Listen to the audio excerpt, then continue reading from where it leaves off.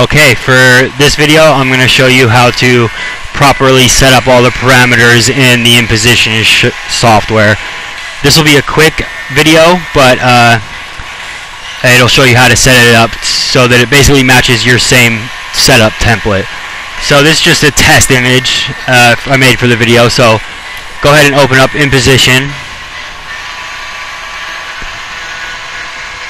Okay, so first things first, you're going to want to set this to 0.47 or you could do 0.5 I just did 0.47 uh, the vertical gaps are going to be 0.25 um, you're probably only going to want to use two columns on setups.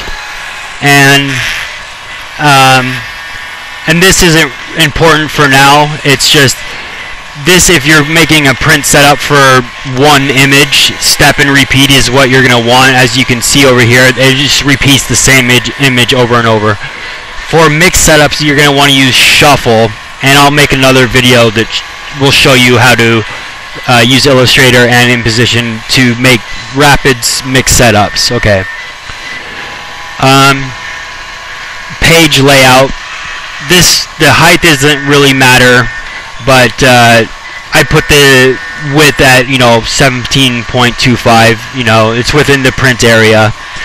One option you're going to want to really make sure that you check is this when you first install it. And make sure that this is scaled at 100% if this is not checked and this isn't at 100% your images will be scaled uh, not proper. And I made that mistake when I was learning this software. Okay now over here for the this is for the registration marks. You're gonna for star targets you're gonna want to it'll come with these images first. Well those don't work so but go ahead and check all these.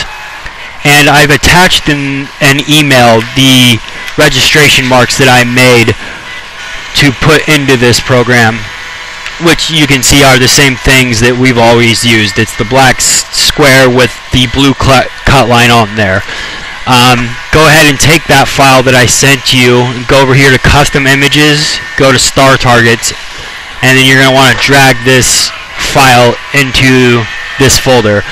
And you're going to need to restart Imposition before it can read it I believe. Um, and then again you want to make sure that the scale is at 100% right here for those. And you want to put the distance at 0.1 and that will properly properly position all the registration marks to the right size.